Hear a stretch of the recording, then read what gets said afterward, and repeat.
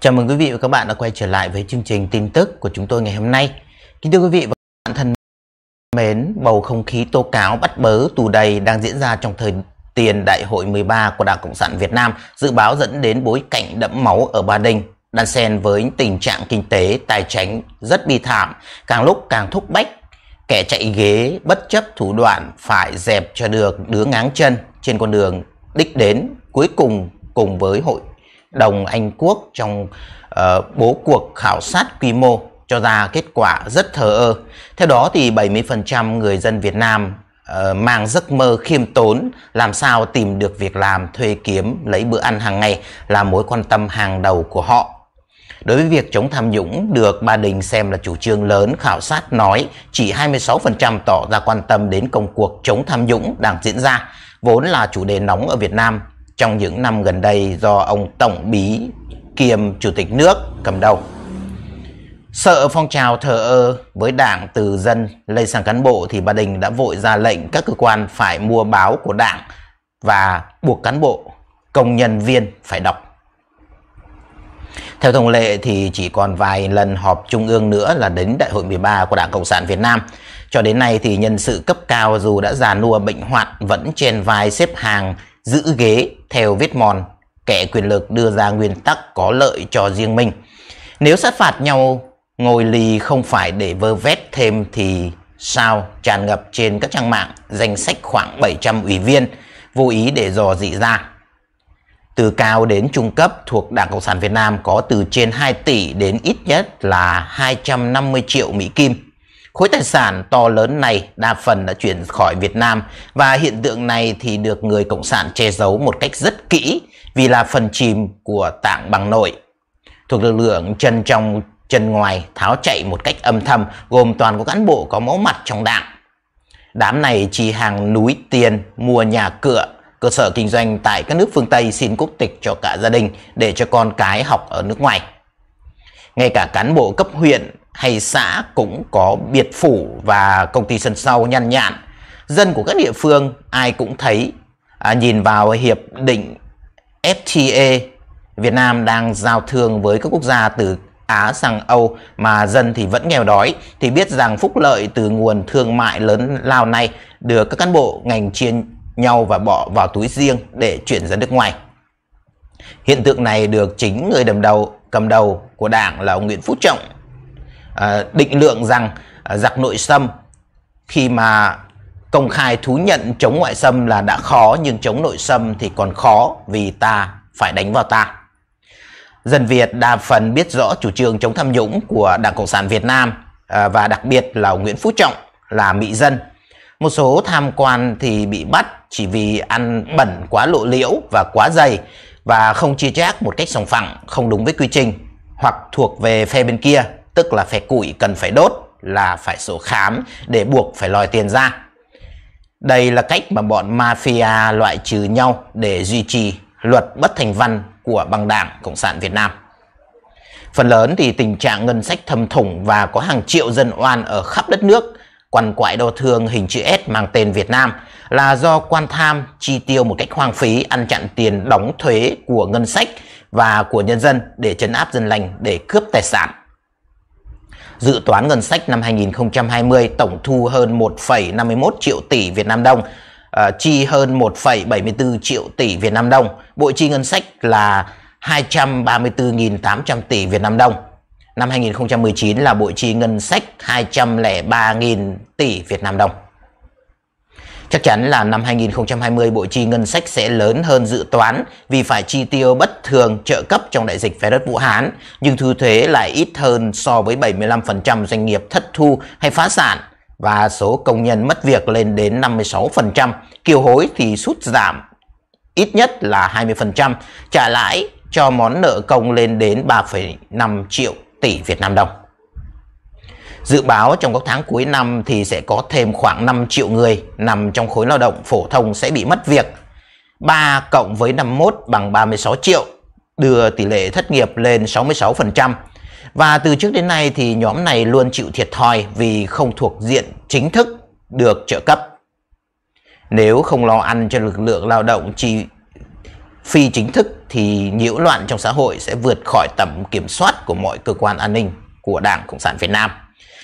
Mối đe dọa còn đè nặng trên nền tài chính, tiền tệ Việt Nam ngay sau khi mà Hà Nội mở đường cho Bắc Kinh đưa đồng nhân dân tệ CNY vào lưu hành ở 7 tỉnh phía Bắc của Việt Nam.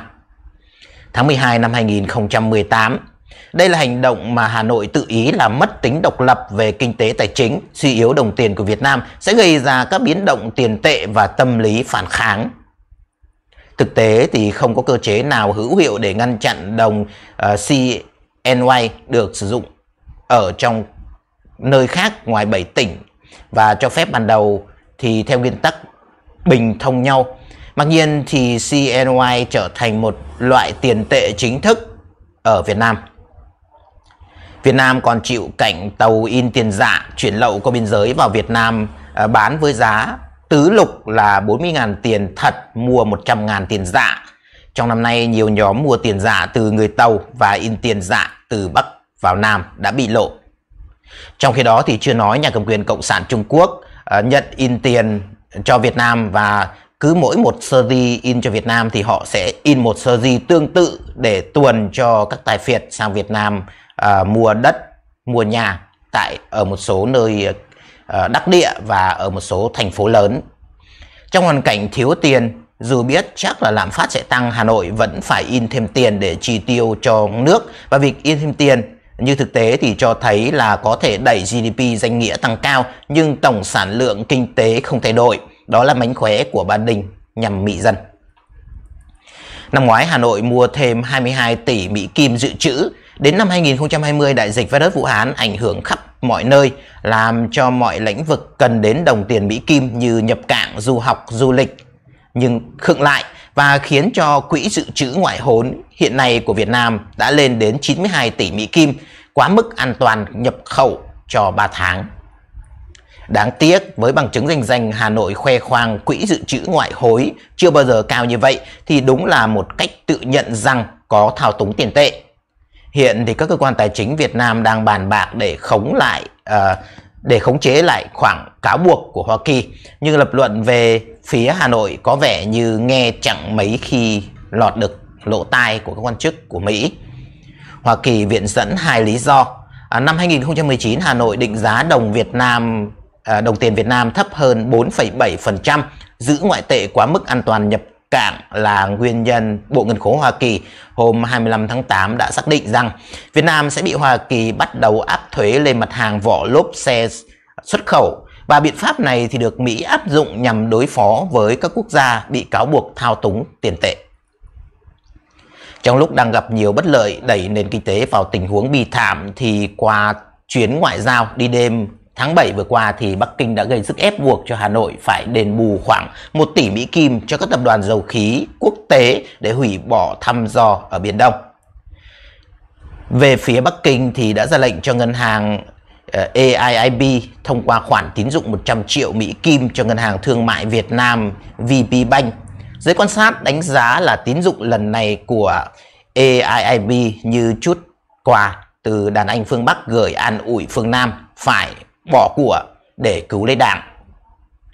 Với hy vọng Bắc Kinh ngại nặng tay khi mà Hà Nội đẩy mạnh hợp tác với tập đoàn Exxon Mobil của Mỹ và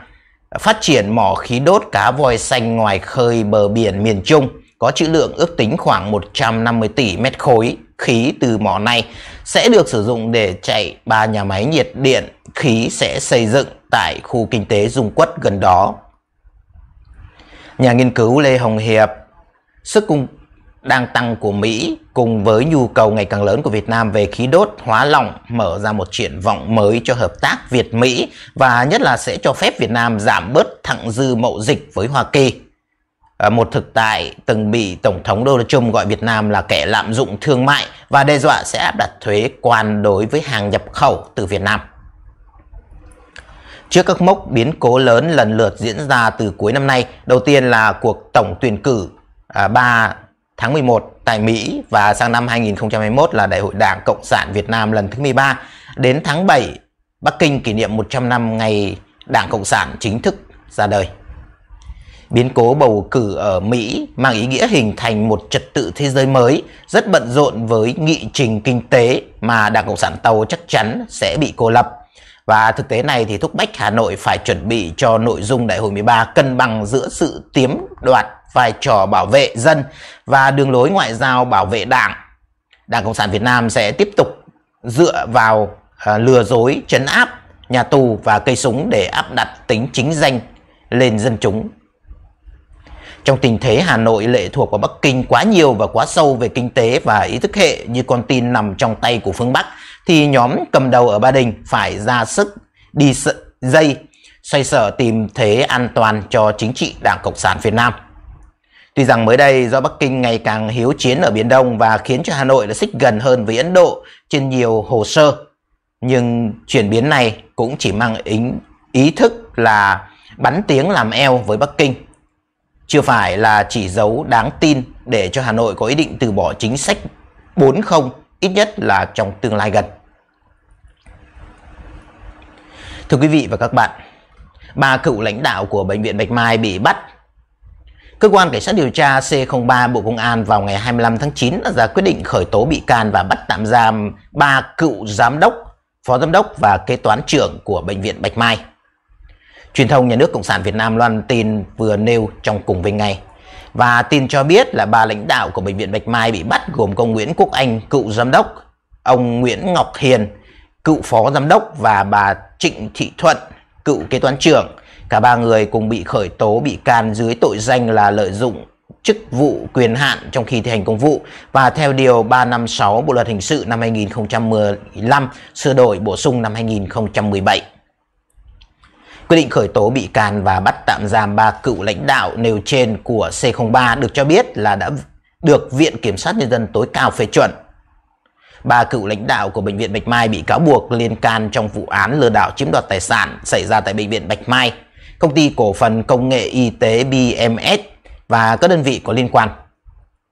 Hai ông Nguyễn Quốc Anh và Nguyễn Ngọc Hiền được nói là lãnh đạo bệnh viện Bạch Mai vào thời điểm công ty BMS và bệnh viện này thực hiện liên danh, liên kết, đưa nhiều thiết bị máy móc vào sử dụng điều trị cho bệnh nhân theo chủ trương xã hội hóa. Theo kết quả điều tra của C03 cho thấy là một số cá nhân tại công ty BMS được xác định cung cấp hệ thống robot được nhập khẩu với giá trị 7,4 tỷ Việt Nam đồng bao gồm thuế VAT.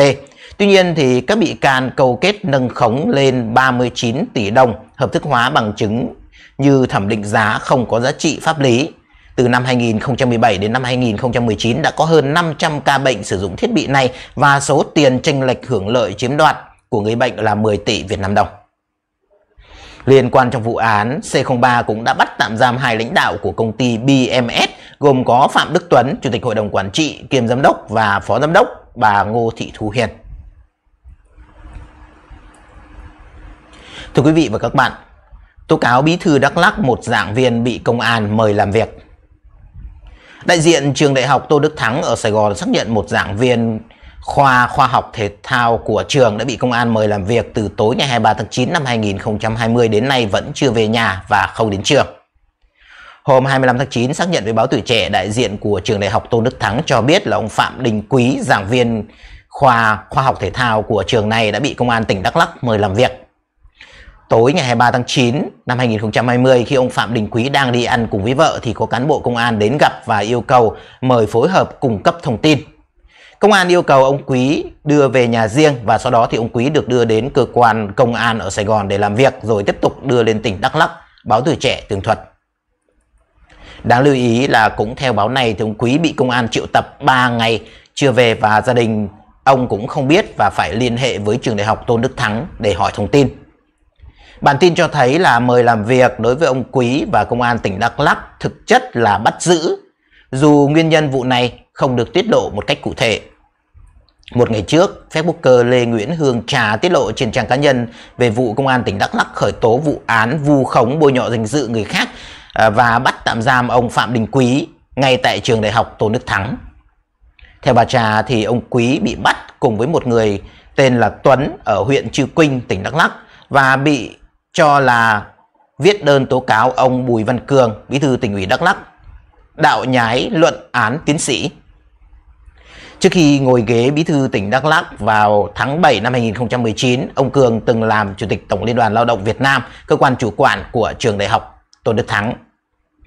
Liên quan đến vụ tố cáo nêu trên thì hồi cuối tháng 8, một số trang điện tử đã đăng tải bài viết của ờ, uh, PDQ được cho là tên viết tắt của ông Phạm Đình Quý với nội dung cáo buộc ông Bùi Văn Cường đạo luận án tiến sĩ gian dối học thuật để trèo cao nhằm mục đích không trong sáng và gây bất bình trong nhân dân. Hiện tất cả các bài viết đã bị gỡ ra khỏi các trang.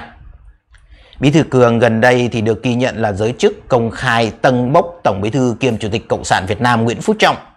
Báo Việt Nam Net hôm 25 tháng 9 năm 2020 dẫn phát ngôn của ông Cường. Có thể nói, trong nhiệm kỳ này thì Tổng Bí thư Bộ Chính trị, Ban Bí thư đặc biệt là Ban Tổ chức Trung ương đã có nhiều đổi mới trong công tác cán bộ và những động thái ấy đã có tác động rất tích cực trong toàn bộ hệ thống và với những đổi mới này thì chúng ta có lực lượng cán bộ đáp ứng được yêu cầu trong thời kỳ mới. Bí Thị Cường cũng cho biết thêm rằng ông làm theo chỉ đạo của ông Trọng bằng cách kiên quyết không bố trí vào cấp ủy những người có biểu hiện giàu nhanh, nhiều nhà, nhiều đất để cho người thân, vợ con lợi dụng chức vụ để trục lợi. Thưa quý vị và các bạn, Hòa Bình chi gần nửa triệu đô la viết 11 ký tự cho một ngọn đồi. Chỉ với 11 ký tự đồi ông Tượng của tỉnh Hòa Bình đã hào phóng chi 10,4 tỷ Việt Nam đồng, tương đương với 449.635 đô la Mỹ, à, tương đương mỗi giá từ là 40.875 đô la để dựng dòng chữ trang trí cho ngọn đồi này. Đồi ông Tượng nằm ở tại phường Trăm Mắt, thành phố Hòa Bình. Tên ngọn đồi được báo Hòa Bình giải thích rằng nếu nhìn từ xa thì quả đồi này trông giống như một ông voi khổng lồ đang nằm phủ phục và vươn vòi xuống uống nước ở dòng sông Đà. Theo dự kiến thì việc lắp dòng chữ sẽ được hoàn thành trước ngày 1 tháng 10 năm 2020, thời điểm Đại hội Đảng Bộ tỉnh Hòa Bình khai mạc. Hôm 25 tháng 9, theo báo pháp luật Việt Nam thì dự án lắp dựng khẩu hiệu tạo cảnh quan trang trí ở khu vực đồi ông Tượng được ông Bùi Văn Cửu, Phó Chủ tịch Ủy ban nhân dân tỉnh Hòa Bình phê duyệt chủ trương đầu tư từ tháng 5 năm 2019 và hiện ông Cửu đã nghỉ hưu từ đầu tháng 9 nhưng quyết định này vẫn được triển khai. Báo pháp luật Việt Nam không cho biết là dòng chữ cụ thể là gì nhưng theo ảnh chụp nơi đang thi công thì hiện đã lắp đặt xong chữ đồi và đang phủ bạt khiến cho người ta suy đoán là dòng chữ 11 ký tự đơn giản chỉ là đổi ông tượng. Dòng chữ được ghi nhận có chiều cao chữ là 10 m, rộng 1,4 m và độ dày là 0,6 m, khung chữ kết cấu bằng thép tráng kẽm bọc nhôm, mặt chính diện bằng thép tấm sơn tĩnh điện và trên mặt đục lỗ bố trí các bóng đèn led được điều khiển tự động theo pháp luật Việt Nam. Còn theo báo Doanh nhân thì dự án này được giao cho công ty cổ phần Anh Kỳ. Tờ báo cho biết thêm rằng doanh nghiệp này đã nhận tạm ứng 40% số tiền nêu trên và khoản còn lại sẽ được trả sau khi nghiệm thu. Liên quan đến Bùi Văn Cửu, Báo An ninh Thủ đô hồi tháng 9 năm 2019 cho hay là ông này bị Thủ tướng Cộng sản Việt Nam Nguyễn Xuân Phúc cảnh cáo do đã có những vi phạm, khuyết điểm nghiêm trọng và liên quan đến vụ bê bối nâng điểm thi tú tài quốc gia xảy ra tại tỉnh hồi năm 2017. 2018. Theo báo Hòa Bình thì do ông Cửu khi đảm nhận vị trí trưởng ban chỉ đạo kỳ thi tú tài quốc gia tỉnh Hòa Bình thiếu kiểm tra, giám sát nên một số cán bộ can thiệp sửa chữa nâng điểm thi cho 65 thí sinh trong hai năm 2017 và 2018 gây hậu quả rất nghiêm trọng làm giảm sút niềm tin của nhân dân đối với cấp ủy chính quyền và ngành giáo dục tỉnh Hòa Bình. Đáng lưu ý rằng vụ này không khiến cho ông Cửu bị mất ghế mà vẫn tại vị cho đến khi nghỉ hưu mới đây. Thưa quý vị và các bạn, khi ông Nguyễn Đức Trung vào tù, người dân hầu như đã biết trước nên sự phấn khởi của họ khi nguội lạnh. Lý lịch và tài năng lũng lạm, nhũng lạm của ông được xăm soi vì người dân ai cũng tin rằng công an là bệ đỡ cho phạm pháp, chức càng cao thì phạm tội càng nhiều. Có bao nhiêu là tướng công an quân đội đã xa vào trại giam và còn bao nhiêu nữa đang nằm trên waiting list, danh sách chờ. Và người dân thì không ai biết nhưng người trong đảng ở những vị trí cao nhất đều biết. Biết nhưng không làm gì cả để chờ đấy xem như xem bọn tội phạm phản động chứ không phải là các đồng chí cùng lắm là đồng bào của mình. Không phải chỉ gói gọn trong lĩnh vực công an, những người có luật pháp và có cả súng bảo vệ, những cán bộ cao cấp chủ chốt trong guồng máy cũng không hề kém cạnh bởi vì họ có tấm chắn hiệu quả là những đồng liêu, đồng chí trong đảng. Những Vinasin, Vinalize, Mobile Phone, những ngân hàng vỡ nợ, những đại án tham nhũng trong các năm gần đây đều mang bộ mặt chân rết của các nhóm lợi ích có hơi hướng vây cánh của đảng, của chính phủ. Bọn họ ra tòa trong tâm trạng thoải mái, có khóc cũng chỉ là vờ vịt để tạo cơ sở giảm nhẹ. Sau này khi thụ án và những khuôn mặt ấy đầy trên các mặt báo đến nỗi mỗi khi có một vụ án mới người dân không còn hứng thú để lót dép hóng trước cửa tòa. Báo để xem như tin một cách đây vài thập niên cơn khát tin tức về cán bộ bị bắt đã không còn làm cho người dân tạm quên nỗi lo cơm áo gạo tiền điển hình là sáng sớm một nhóm người mang danh lương y như từ mẫu chính thức bị tống giam à, Nguyễn Quốc Anh, anh hùng lao động, nguyên giám đốc bệnh viện Bạch Mai bị khởi tố bắt tạm giam do liên quan đến vụ nâng khống thiết bị y tế ở bệnh viện Bạch Mai. Ngoài ông Nguyễn Quốc Anh thì các ông Nguyễn Ngọc Hiền, nguyên giám đốc, bà Trịnh Thị Thuận, kế toán trưởng của bệnh viện Bạch Mai cũng bị khởi tố bắt giam. Cái tin này nếu xảy ra trước đây thì uh, không những làm xã hội rúng động mà còn làm cho đảng khó ăn khó ngủ vì chót tuyên truyền, nâng cao cái đẹp trong ngành y. Thế nhưng nó xuất hiện trong thời gian này không làm sao xuyến một chút gì cả và kể cả trên mạng xã hội nơi bị chính quyền cho là đầu mối của mọi phát tán thông tin xấu. Người dân đã quá quen với các vụ án nhỏ nhỏ như thế này. Mặc dù thì tội phạm là giám đốc của một bệnh viện danh giá nhất của cả nước bởi trước đó vài ngày thì vụ án Đồng Tâm đã lấy đi toàn bộ lòng dân, uh, lòng lân mẫn của họ và khi con người không còn tha thiết đến tệ nạn trong chính phủ thì đó là lúc họ quay về với chính mình và khi ấy thì không thể trách khi họ tự hỏi đây là một chính phủ sao. Chính phủ cho rằng bắt một kẻ đầu sỏ trong guồng máy là giảm bớt nguy cơ đục đẽo tài sản quốc gia và đồng thời cũng làm cho xã hội yên tâm về sự công chính của nhà cầm quyền. Nhưng sau những vụ ấy thì những vụ khác còn to hơn, tầm ảnh hưởng xã hội lớn hơn ảnh hưởng quốc gia tệ hại hơn và dưới mắt quốc tế thì chính phủ phải coi lại chính sách của mình tại sao lại có những lỗ hổng khó chám như thế. Đừng chám những lỗ hổng ấy bằng cái hội triết học như ông Thường, Ban tuyên giáo Trung ương vừa làm. Cũng đừng chám lỗ hổng ấy bằng cách bắt trả thù, ông hiệu trưởng trường đại học Tôn Đức Thắng hay kỷ luật đảng đối với tập đoàn giết người, cướp đất Thủ Thiêm. Kể cả những người vì phản kháng chính sách của nhà nước đã bắt họ bao nhiêu cũng không thể bịt được miệng của mắt nhân gian. Đấy không phải là biện pháp lấp lỗ hồng chính trị sai trái của nhà nước. Nó chỉ làm cho người ngoài thấy Việt Nam xứng đáng là một mảnh đất mà tội phạm cũng không còn phân biệt. Từ một em bé giật ổ bánh mì khi đói bị giam 3 năm cho đến một ông quan lấy của công vài nghìn tỷ rồi ngồi tù cũng 3 năm vì có công với cách mạng. Không những vô địch về tội phạm, Việt Nam còn vô địch về hệ thống công quyền khi nội các của ông Thủ tướng CLMV Nguyễn Xuân Phúc có đến 131 thứ trưởng, nhiều thứ trưởng như thế để làm gì? Xin chân thành cảm ơn thời gian theo dõi của quý vị và các bạn đã dành cho chương trình của chúng tôi đến phút cuối.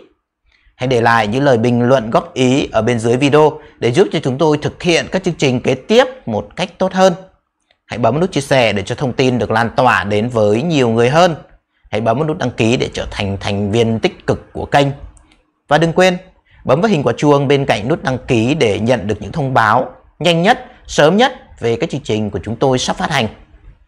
Xin chân thành cảm ơn và hẹn gặp lại quý vị và các bạn trong các chương trình kế tiếp của chúng tôi.